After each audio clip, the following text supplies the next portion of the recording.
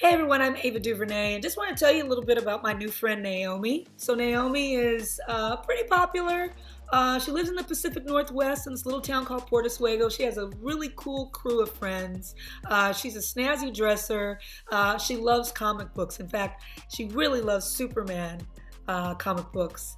Uh, one day, something crazy happens in her town, and she finds out why she loves comic books so much and why she loves Superman specifically and it's something that blows her mind and is more seismic and cosmic than anyone could ever imagine. Don't believe everything you think. That's what Naomi's about. Check it out. Better hurry, bell rings in 15. If you let me get a car, you wouldn't have to worry about me being late.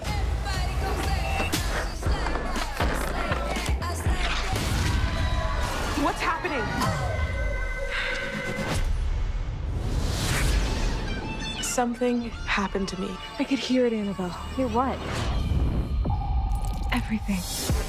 You were there that day. Do you know what it was? It may have something to do with people like us. What are you talking about? What you call an icon living?